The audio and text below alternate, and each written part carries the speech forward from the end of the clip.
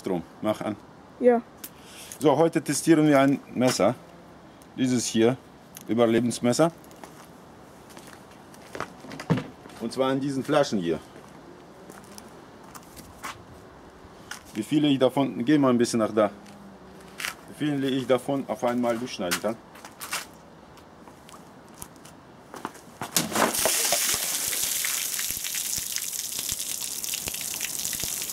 Und ich habe nicht mal Widerstand gespürt, also ich hätte da viel mehr durchschneiden können.